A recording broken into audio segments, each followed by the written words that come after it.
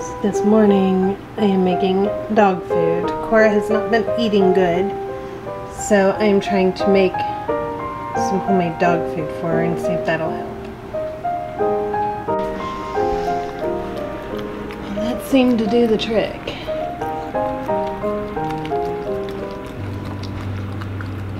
Today is day four of her being with us and she's just not been eating. Not much.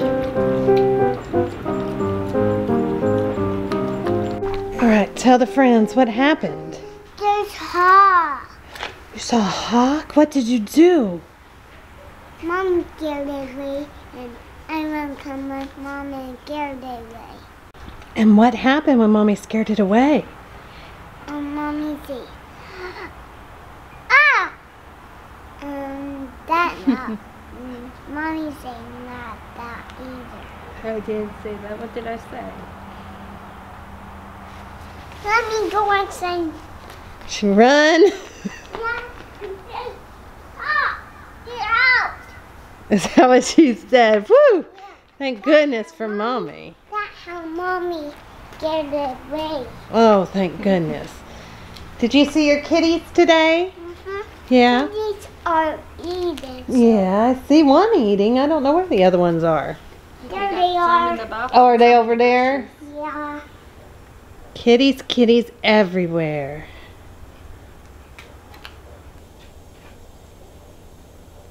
Hello, everybody. Today we are going to be making two recipes. Um, I'm kind of keeping it at two. It just seems like that's a, a long enough video and long enough for me in the kitchen. So today, one of them is going to be from, let me see if I can see the date. Um, it is a punch bowl cake. I don't know if you guys have ever made that or not. This is from 1989 is this one. And uh, basically we're going to go on and start it now because it says you just take a um, yellow cake mix and you make that bake it just following the directions just bake up a cake and then it's going to be a layer of cake and then you're to make up some pudding and put that in and some cherry pie filling and some crushed pineapples and some um, bananas it just sounds like it'll be really really good and then for dinner tonight we're going to take from this 1950s cookbook and we're to make a chicken fricassees and a fricassee, however you say it. Um, hold on, let me find that for you. Okay, so this is the one that we're to make tonight. And, and we are also going to make that with some baking soda biscuits because that's what it says in it to serve it with. So basically it's to become this chicken and gravy is basically what I'm reading over top of biscuits. And then the dessert, like I said, is just to be this kind of trifle. I think it's to be a good day. So make sure you stick around so you can see how to make these. I'm going to start with just making this yellow cake mix. Alright, I want to just kind of show you real quick this punch bowl cake. So we're going to take one yellow cake mix and we're going to bake it. Then we're going to take two boxes of instant vanilla pudding and mix it according to the package. Then two cans of cherry pie filling, or you can use fresh strawberries. And two cans of crushed pineapple drained. See, five or six bananas sliced, a large container of Cool Whip, a few maraschino cherries, and some chopped nuts. That's going to go on the top. So that's basically what it is, and we're going to make just this layered pretty trifle. Okay, so I am sitting here looking at my trifle bowl, which needs to be washed because it's dusty, but I'm thinking there's no way that this is going to fit in here. And because we're making a dessert every night this month, I think I'm just going to half this recipe. I'm still going to make the cake, but instead of two boxes of jello, do one and just half it so that it'll fit in this bowl. You might think the weather's kinda cold,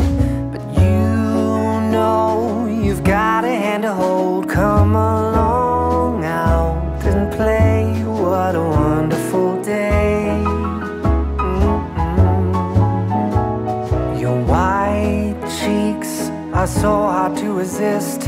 Those red lips are longing for a kiss. Come along out and play. What a wonderful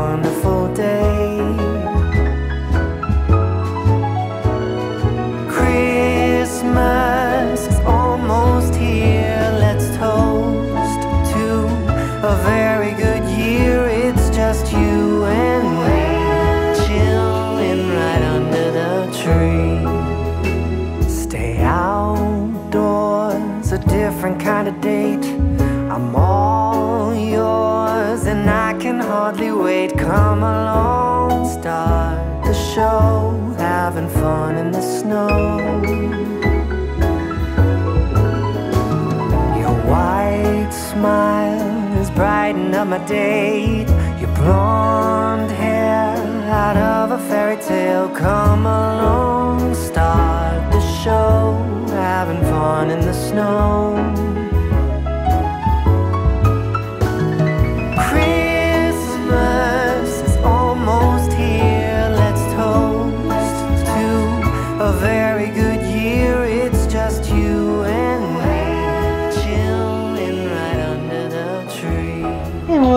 You doing? She just woke up from Ah, her Pumpkin, did you just wake up? Oh, Up, they're going out for a walk then, I'd say. yep. Go get dressed. Come on, girl.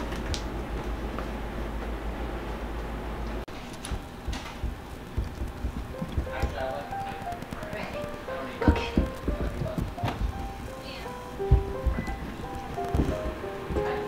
you had to fall first. Get some more. You need me to make more eggs? No, I only eat some. I am. I eat. I almost eat baby ones and not mommy ones. They are too hot. Oh, they're still too hot. Do you want me to blow it? Are you ready?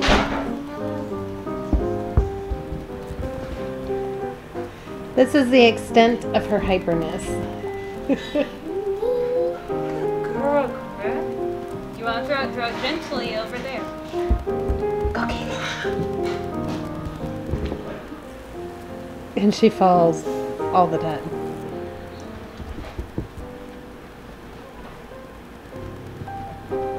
Thank you. Right, throw it gentle. Fast. You gotta do it fast. You're a good dog.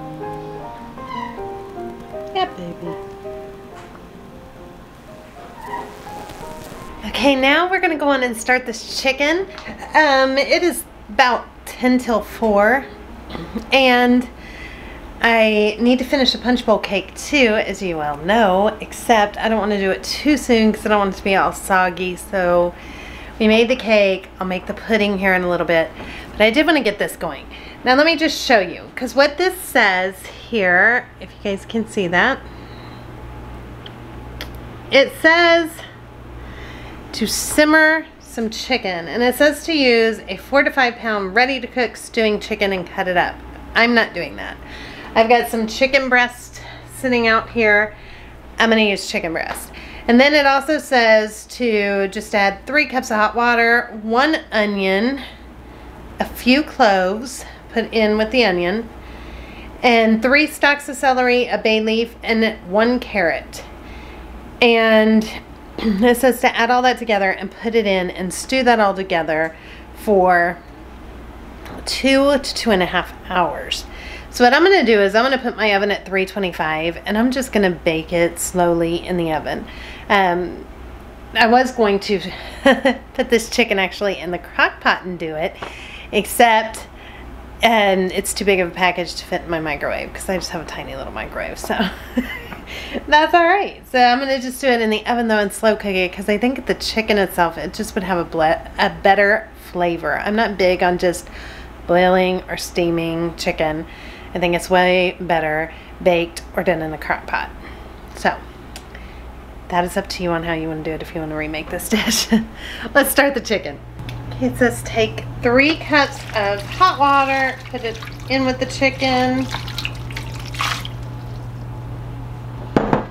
Then to take some onion studded with a few cloves.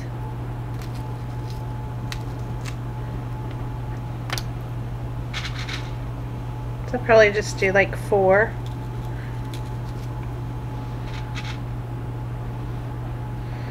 I guess five.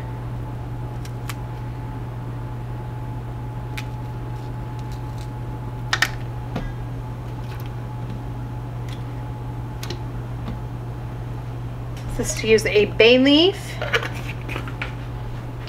That's a better one. Three stalks of celery, and it says to leave the leaves. And one carrot chopped up, but I have just some baby carrots.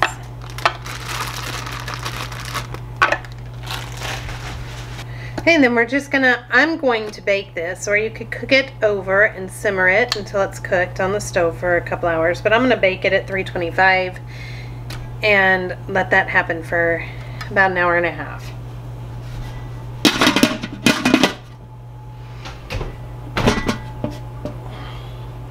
Okay, so it did not say to add salt or pepper or anything like that because then it says that we're gonna add that later. We're gonna add flour, cream or milk, salt, and it never even calls for pepper. So that's what we're gonna add later and make our like gravy, I'm assuming. Okay, now let's go on and make this dessert because it's only about an hour now before dinner. So the first thing I'm gonna do is I'm gonna make some just instant vanilla pudding.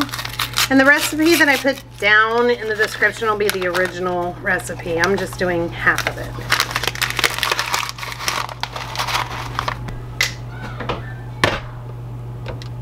Add two cups of cold milk.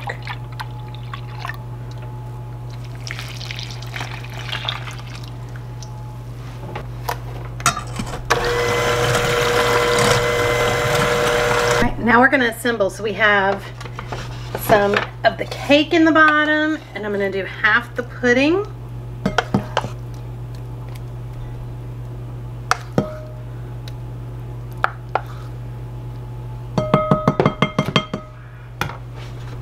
Then I'm gonna do half a can of cherry pie filling.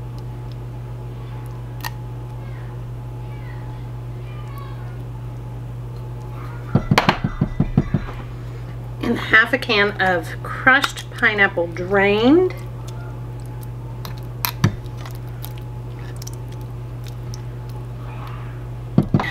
We're gonna slice a banana.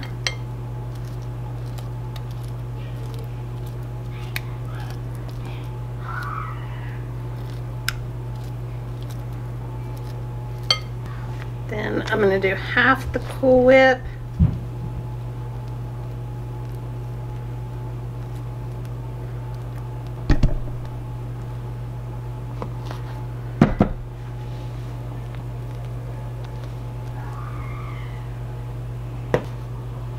Then we are going to repeat with cake.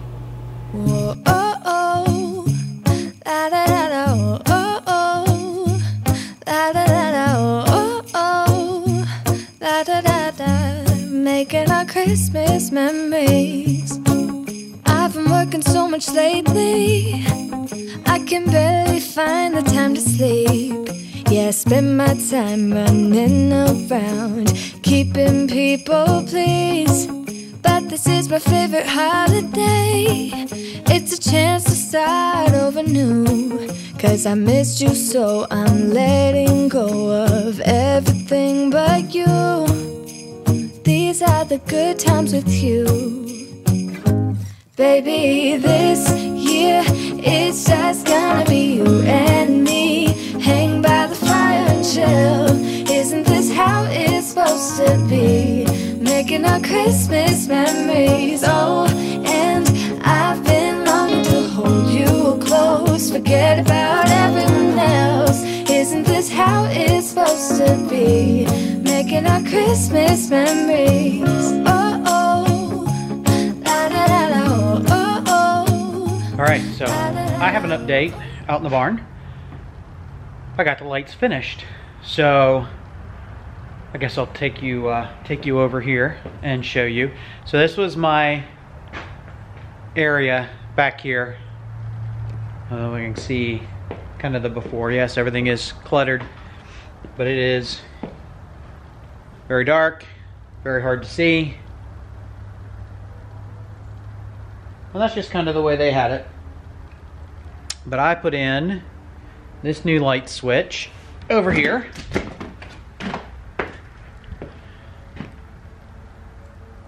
You can't hardly see. I'll try it this way.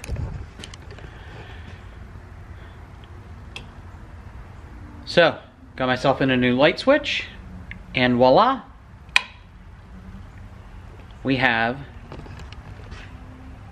all kinds of light to be able to see what we're doing. I'm happy with it. Step back here. You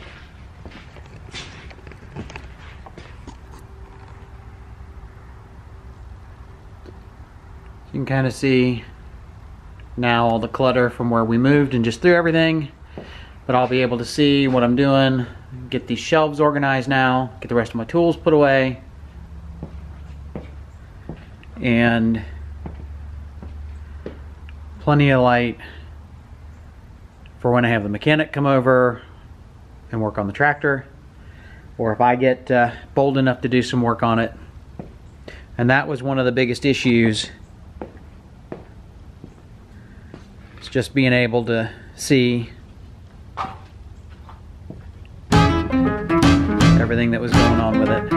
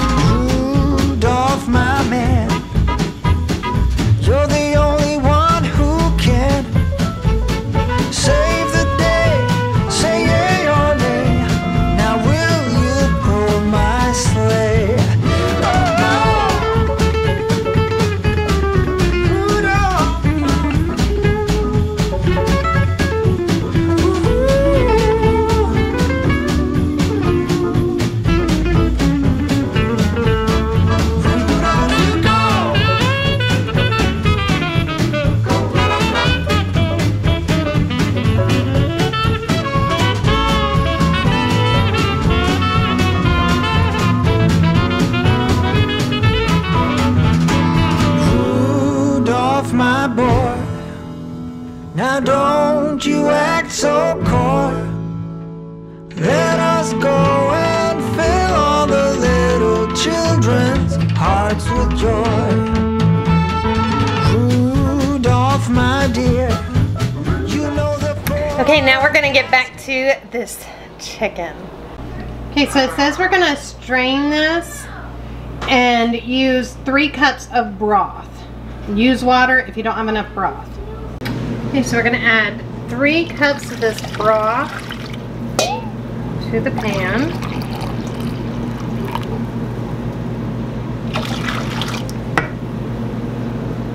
Half a cup of heavy cream or milk, six tablespoons of flour,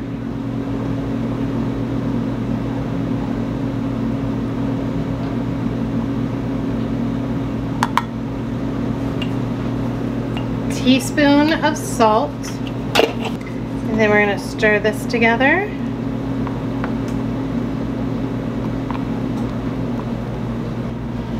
Then we're going to add this to our broth.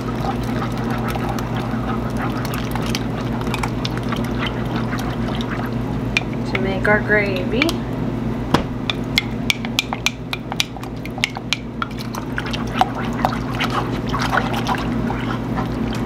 Oh, she's got some.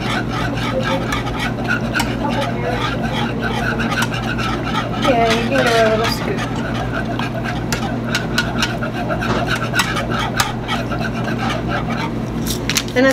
taste and add a little salt and pepper as needed. So I'm gonna do some pepper and I'm gonna do a little bit more salt.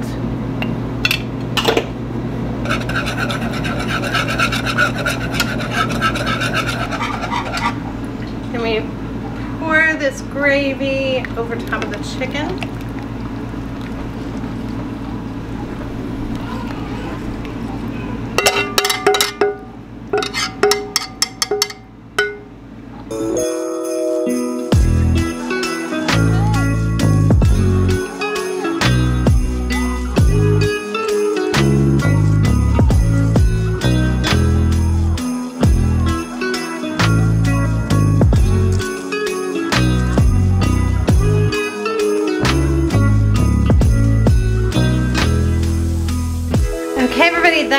Up tonight's video and we will see all of you guys tomorrow for day 11 of Vintage Meals, or Vintage Recipes. I thank you guys all so much for watching and if I don't see you, because some of you are leaving already, I hope you have a wonderful Thanksgiving and I can't wait until you're back. Bye everybody, have a wonderful night wherever you are.